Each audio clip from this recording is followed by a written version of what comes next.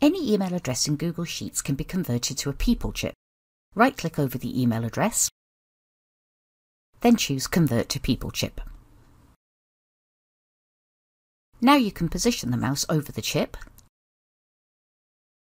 to view the person's contact card with options to contact them or view more details about them. You can convert multiple email addresses to people chips too by selecting all email addresses, then choosing the Convert to People chip command. You can also add a people chip by typing the at symbol into a cell, starting to type the name of the person, then choosing it from the list of suggestions.